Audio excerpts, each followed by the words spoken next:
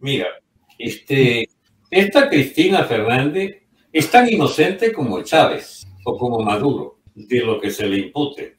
Entonces, las clientelas pagadas del chavismo, del madurismo y de la Kirchner siempre dirán lo contrario, que esa es una santa mujer que le han levantado un falso testimonio, que no, ella fue correctísima, no es una ladrona, insisto.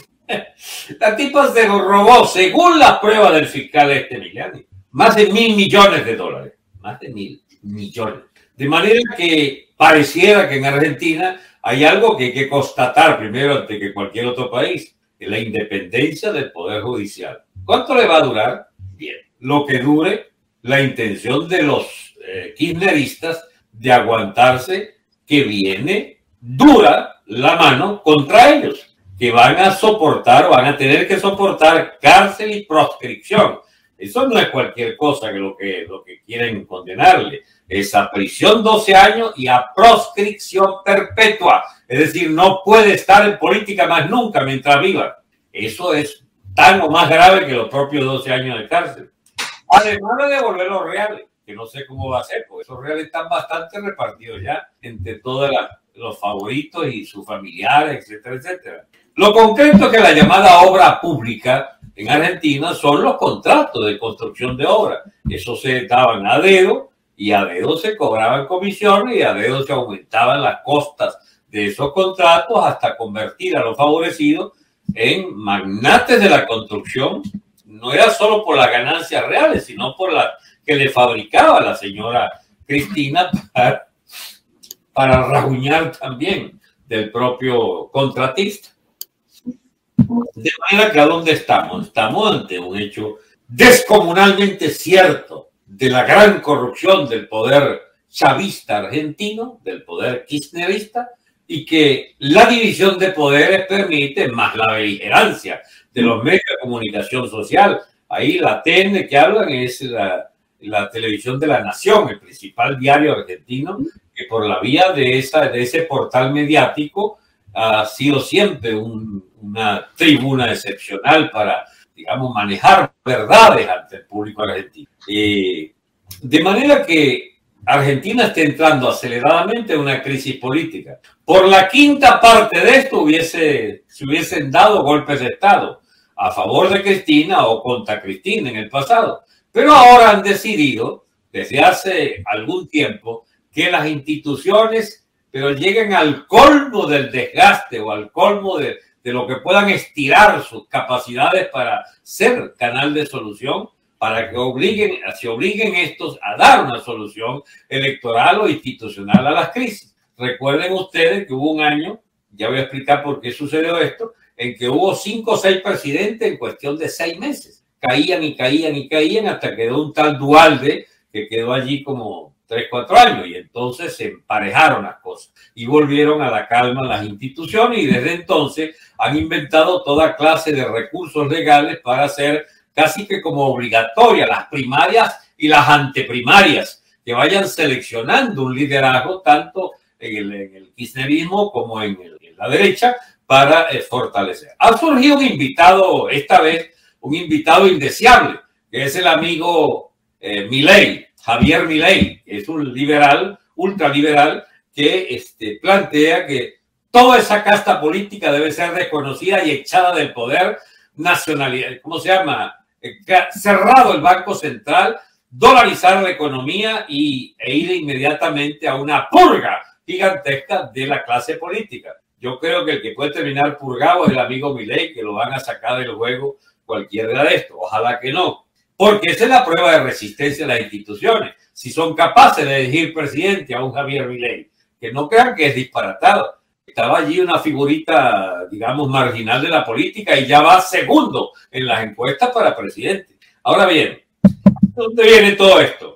Esto viene de lejos. 1982, yo estaba en entonces en Argentina y puedo hablar con fidelidad de estas cosas. Y la guerra de Malvinas se llevó por delante la independencia argentina, por supuesto, a la que le obligaron a aceptar el dictado de la potencia inglesa a manos de la Thatcher, que les eh, reventó la maquinaria militar con la anuencia y el apoyo de la administración, no sé quién estaba allí, pero era el general Hay, era el secretario de Estado, ya ni recuerdo cuál era el presidente. ¿Tú recuerdas esa administración de 1982? Era Reagan. Era Reagan. 82, sí. Sí. Bien. Reventaron a la Kirchner, eh, perdón, reventaron a Argentina y las Fuerzas Armadas fueron casi disueltas.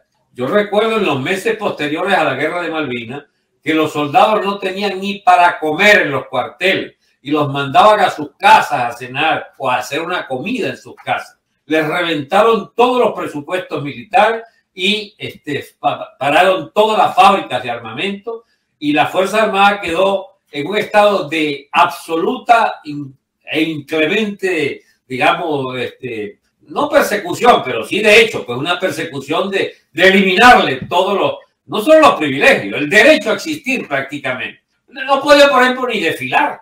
Si desfilaban, les caían a piedra. Entonces optaron por no desfilar más nunca. Bien. Poco a poco han ido recuperando su lugar y ya otra vez está algo dignificado el ejercicio eh, de la carrera militar.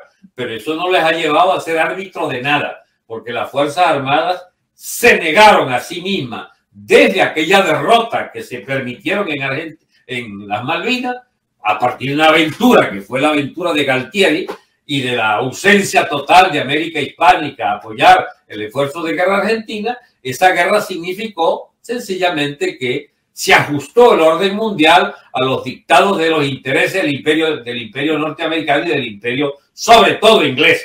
No es, ¿cómo se llama? No es ninguna novedad. Nosotros sufrimos América Hispánica desde 1800, 810 10, 18, en particular la creciente eh, invasión de las propuestas de Inglaterra para meterse en este continente. Y lograron no solo ser, eh, no solo sobrevivir aquella vieja imperio, aquella vieja fuerza del imperio inglés que rivalizaba con España el control de América, sino que luego, incluso después de la derrota eh, que implicó para ello la independencia norteamericana, Inglaterra siguió siendo una especie entonces de fuerza auxiliar después de la Primera Guerra, eh, que fue, digamos, su último intento de tener un papel protagónico en la dialéctica de imperio a nivel mundial. Desde la Primera Guerra a esta parte y sobre todo después de la Segunda Guerra, pasó a segundo plano y los intereses hegemónicos de las capitales imperiales se deciden en los Estados Unidos hasta hoy.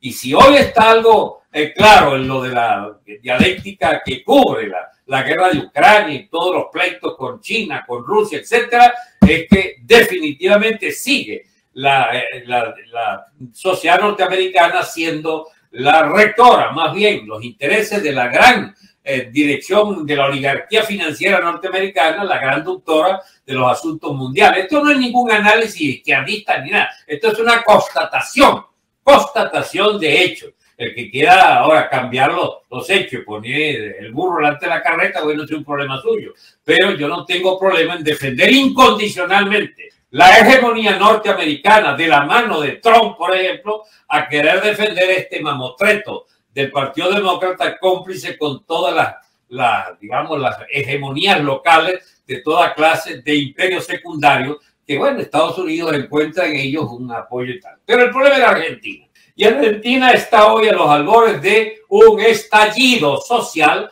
provocado por la Kirchner y provocado por los intereses que llevan a la catumbe del Estado argentino y a la sustitución por un gobierno que alguien deberá ejercer, alguien. Y seguramente, bueno, habrá madurado la situación para desalojar a, la Kirchner y a los locos estos peronistas hipercorruptos que han estado influenciando los últimos años en Argentina o se permite por primera vez ir a un gobierno decente en las próximas elecciones, porque este Fernández es apenas un, un pelele allí al servicio de Cristina que dice una cosa hoy, mañana la contraria, con tal de defender pues, los intereses del clan de peronista, eh, de ultra izquierdista, peronista, más que ultraizquierdista, de hipercorruptos, que están asociados a todo la, el llamado Club de, Puebla, del, antiguo Acuerdo de Sao Paulo, del, Plan de Sao Paulo, que es el izquierdismo pro-cubano en toda América.